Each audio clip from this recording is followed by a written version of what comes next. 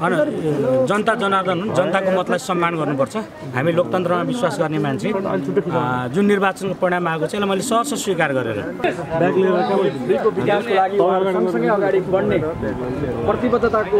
यस्तै हो हामीले चाहेको। नयाँ पुस्ताले चाहेको लोकतन्त्र भनेको नयाँ पुस्ताले अभ्यास गर्ने लोकतन्त्र भनेको। प्रतिस्पर्धा गर्ने तर स्वस्थ र स्वच्छ प्रतिस्पर्धा गर्ने। एउटा उदाहरणीय हामीले एउटा उदाहरण देखायौँ यो विशेष गरेर उहाँले देखाउनु भयो म सँगसँगै रहन्छौँ। यो निर्वाचनको सन्दर्भमा भएका तिता मिठा कुराहरूलाई हामी यहीँभित्रबाट छोडेर हामी जाने पनि प्रतिबद्धता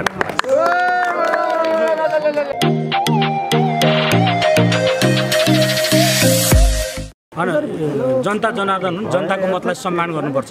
हामी लोकतन्त्रमा विश्वास गर्ने मान्छे। जुन निर्वाचनको परिणाम आएको छ यसलाई मैले सहर्ष स्वीकार गरेर यो जनमत जनताले अहिले परिवर्तन चाहेको कुरालाई अहिले देखाएको छ। विशेष गरी अँ, हामी परम्परागत दलहरूले अब हामीले अँ, सच्चिनै पर्छ भन्ने एउटा यसले सन्देश पनि दिएको छ। हामी परम्परागत ढङ्गबाट होइन अब नयाँ ढङ्गबाट पार्टीलाई सञ्चालन गर्नुपर्छ जनताको सेवामा लाग्नुपर्छ भनेर एउटा सन्देश पनि दिएको छ भने मैले यो परिणामलाई सहर्ष स्वीकार गर्दै लोकतन्त्रको एउटा राम्रो पक्ष यही हो।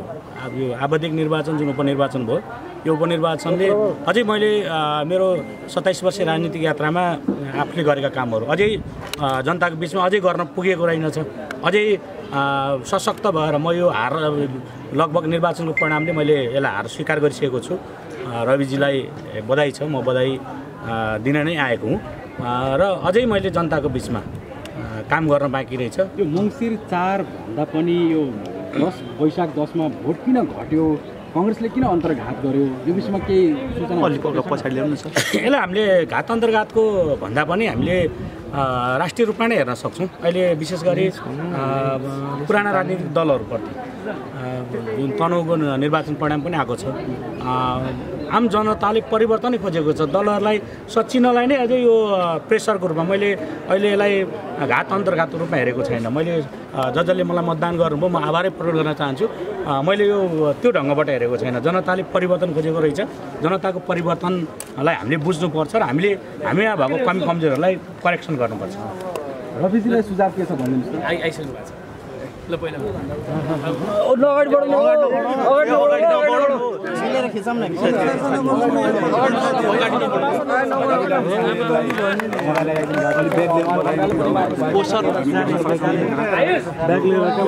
विकासको लागि सँगसँगै अगाडि बढ्ने प्रतिबद्धताको चिनारी पनि हो जित नारायण श्रेष्ठले आधार लगाएर उहाँलाई मत परिणाम सकिनुभन्दा अगाडि नै उहाँले नगरका साथ हेर्नु भएको छ म प्रतिस्पर्धी उम्मेदवार मोबाइल मोबाइल उहाँले हरेक रचनात्मक काममा मेरो सम्पूर्ण साथहरू तल गर्नुहुन्छ र सिङ्गो दलभन्दा माथि उठेर उहाँले नेपालको एउटा मैले झन्डा उहाँलाई दिएको छु उहाँ अब दलको मात्र नेता होइन। मलाई मत हाल्ने मेरा कार्यकर्ताको पनि नेता हो। उहाँ आम जनताको पनि नेता हो। त्यसैले दुई नम्बर क्षेत्रमा उहाँको जिम्मेवारी अत्यन्त बढी छ। त्यसको लागि मैले मेरो तर्फबाट गर्नुपर्ने म एउटा उम्मेदवारको हैसियतले प्रतिस्पर्धीको हैसियतले उहाँलाई म पुनः सहयोग गर्न चाहन्छु। उहाँलाई शुभकामना र बधाई छ। होइन उहाँलाई एउटा युवा नै हुनुहुन्छ। हामी उमेरले थोरैमा मात्रको अन्तर छौँ। पक्कै पनि उहाँसँग पनि राष्ट्रले अपेक्षा गरेको छ उहाँ चितवनबाट निर्वाचन हुँदै गर्दा मेरो पनि जनप्रतिनिधि हो त्यसैले मैले मेरो पनि जनप्रतिनिधि हो भन्ने अनुभूति गर्न पाउनुपर्छ। लगायत क्षेत्र नम्बर दुईको विकासमा हामीले धेरै कामहरू गर्न बाँकी छ। विशेष गरी उहाँ पनि डुल्नु भएको छ। इच्छा कामना कालिकाको समस्या भरतपुर महानगरपालिकाको समस्या चेपाङको अवस्था दयनीय छ। विद्यालयको अवस्था स्वास्थ्यको अवस्था शिक्षाको अवस्था अत्यन्त बाटोघाटोको अवस्था बिजुलीको अवस्था। उहाँले पनि यो बिचमा अध्ययन गर्नुभएको छ। मैले उहाँले फिडब्याक माग्दै गर्दा मसँग राय सल्लाह सुझाव माग्दै गर्दा पूर्ण रूपमा सहयोग मैले गर्ने एउटा जनप्रतिनिधिलाई एउटा प्रतिस्पर्धीले नकारात्मक होइन सकारात्मक सहयोग गर्ने विकास निर्माणमा सकारात्मक सहयोग गर्ने र सिङ्गो म हाम्रो पार्टी पङ्क्ति र मेरो उम्मेदवारको हैसियतले उहाँले शुभकामना दिन्छ।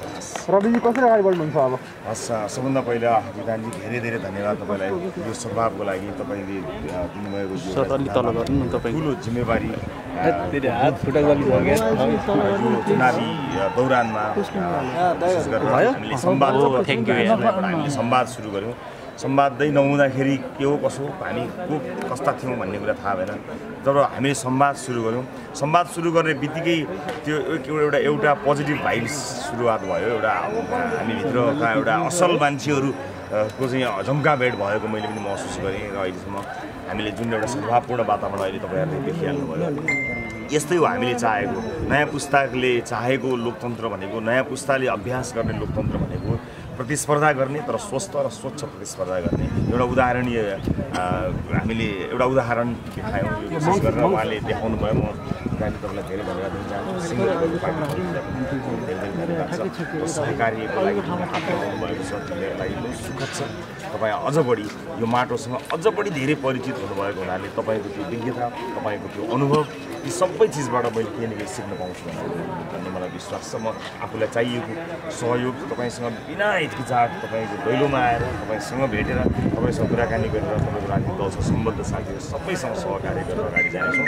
सल्लाह सुझाव सायद एकसाथ हिँड्नेछौँ। प्रतिनिधिका रूपमा चुनिएको म भए तापनि तपाईँ एउटा जिम्मेवार राजनीतिक दलको र यहाँको एउटा स्थानीय लामो समय यही राजनीति नै गर्नुभएको एउटा व्यक्ति भएको हुनाले तपाईँको साथ र सहयोग बिना यो यात्राको सफलताको सक्दिनँ आगामी दिनमा रचनात्मक साथ सहयोग अपेक्षा गर्छु। तपाईँलाई सद्भावको लागि म धेरै धेरै मङ्सिर चार र यो वैशाख दसमा मतान्तर पनि बढ्यो। चितवन दुईका जनताले तपाईँलाई धेरै माया गरे।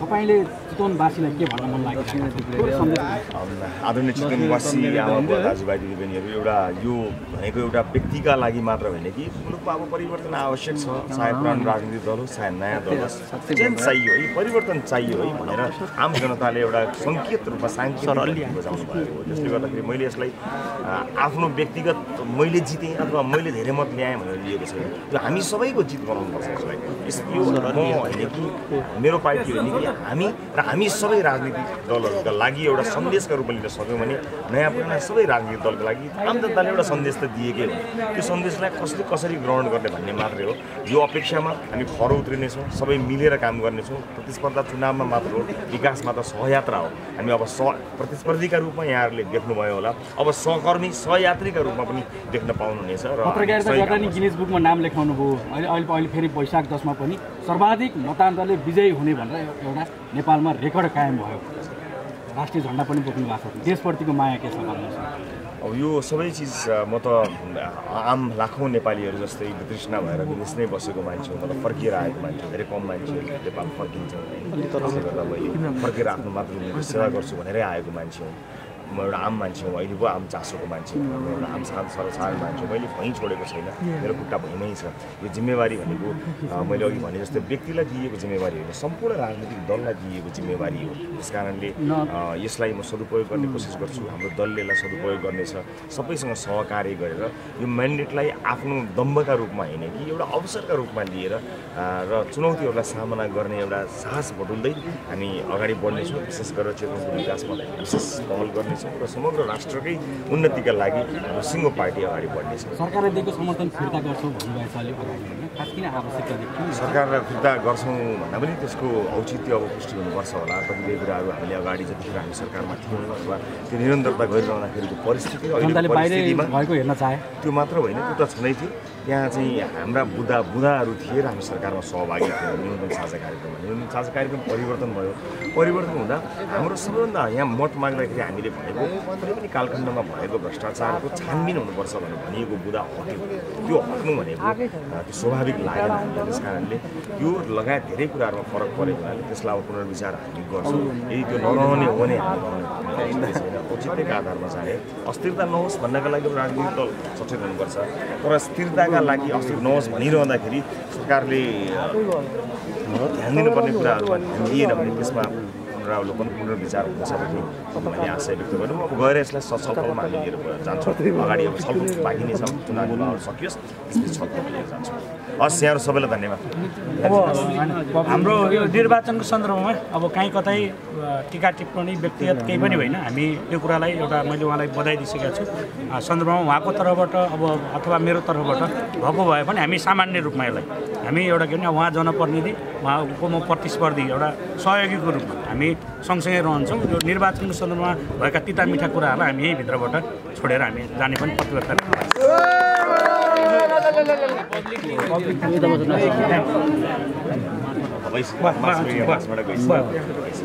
हस् धेरै धन्यवाद